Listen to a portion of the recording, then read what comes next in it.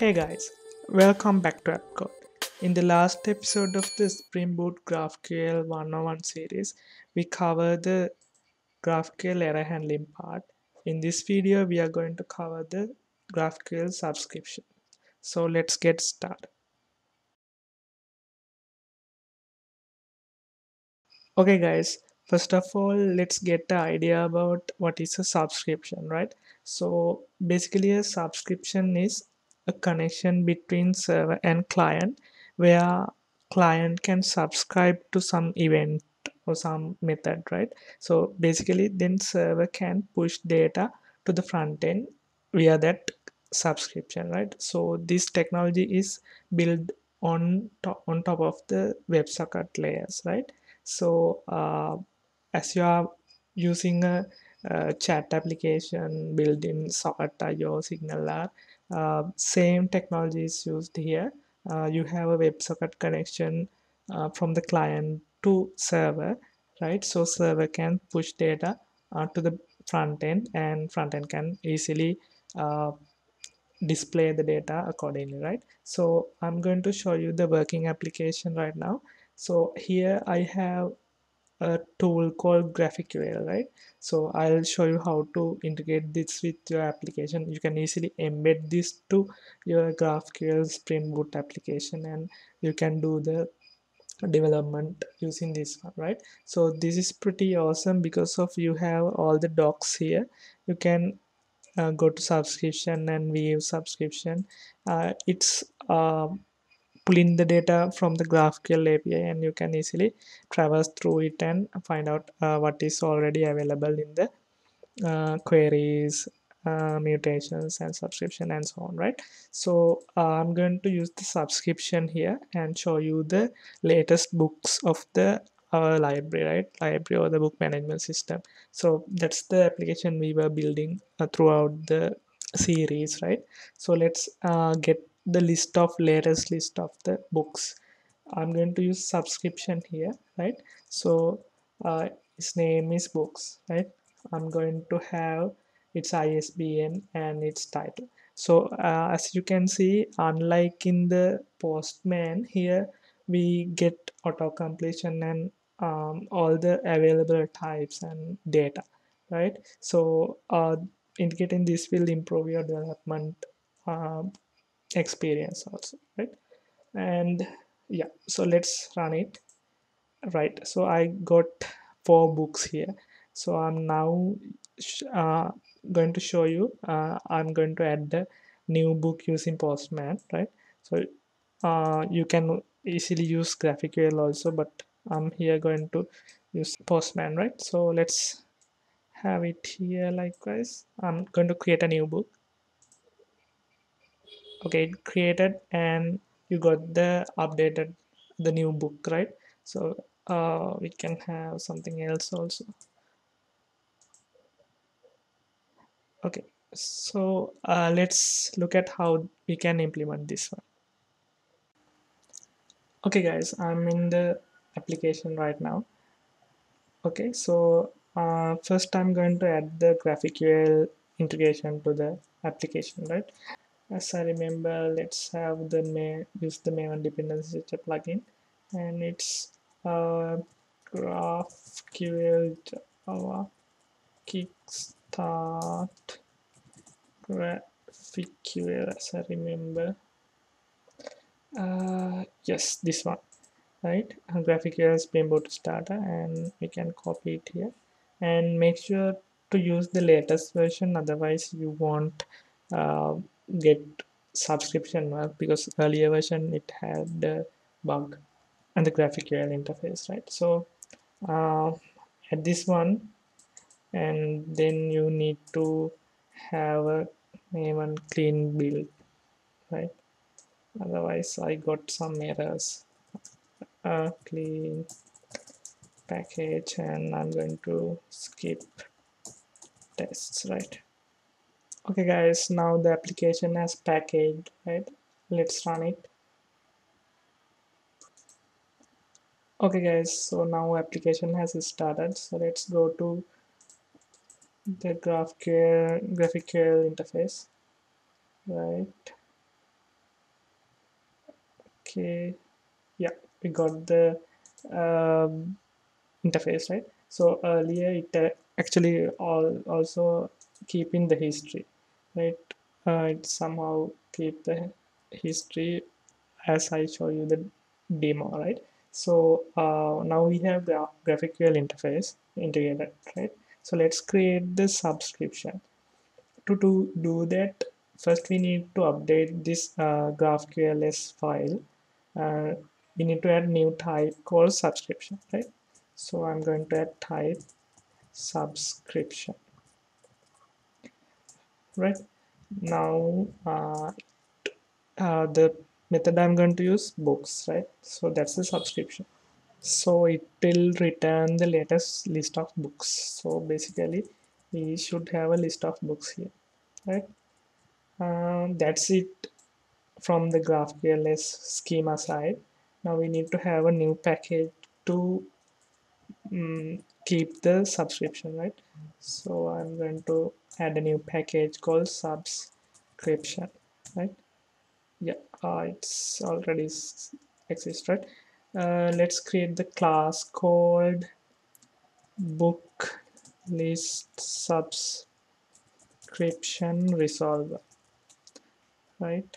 Uh, so you get the idea why I added the resolver part because we need to implement GraphQL GraphQL subscription resolver right? So this should be a component. So at the component annotation. So what we have here is the method of the subscription. So it's books right? So we need to return publisher publisher from the reactive streams. I'm not going to use uh, other one which is uh, the flow concurrent flow right? From the reactive streams you need to have the publisher now this publisher will return list of books so list of books right so method name should match with this one. Uh, so it's basically books. Right? Okay. So now this should return a new publisher of this type. Right? I'm going to have anonymous class here. Next we can replace it with the lambda. So when we subscribe we have a subscriber of type list of books here. So that's the subscriber. Now it, this subscriber has several methods. On next on complete on error and so on right? So what we need to do is return a set of values uh, to on next method. So uh, if we have one call to the on next it will push the data to the front end through the subscription right? So because this is a publish publisher have the uh, subscriber so we can push the data to the um, subscribe part right? So we have several method on complete on error and on subscribe subscribe right? So i'm not going to use these other things uh, because in the on subscribe we can have all the new subscriptions uh, as a list or something like that and we can manage the subscription from there. So i'm not going to manage the subscription uh, using this on subscribe method then uh, so on right? So i'm just going to show you how to push the data to the front end. Okay so to return the list of books i'm going to use the uh, book repository right and we can have a constructor param and it should have the autowired annotation there right? So to return data we need to have a system to fetch and push right? So I'm going to have a scheduled thread for this subscription and it will return set of books periodical right? So to do that I'm going to use executors and new schedule thread pool so I'll have a size of one pool and right I'm going to next use the schedule with at fixed rate method right? So I'm here we need to pass a runnable and next we have the initial delay. I'm going to use 0 and period it will be 2 and I'm going to use the time unit as the second. So this will run the this runnable this whole thing will run this runnable um, in 2 second delay 2 second period right? So now here we can fetch the all the book books right so this this the books and we can use the subscriber on next books. Right? So that's it guys and we can actually complete it out. Uh, I'm not sure that uh, it will break or not the subscription so let's have a look. Uh, replace with lambda right?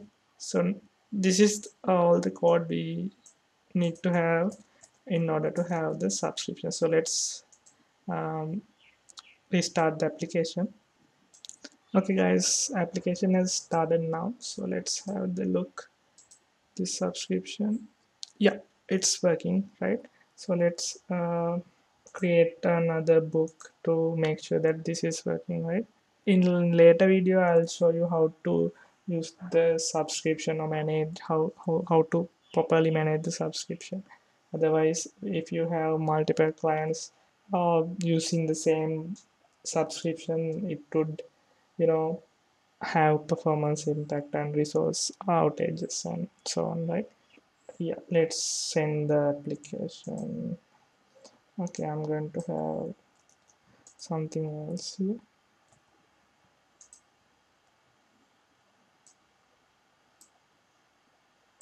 Okay we can't complete it right? So that's the that's what I need to check it out right? So let's remove this onComplete method and run it. Okay guys application has status right? So let's give it a try again. Okay now let's create another book called 57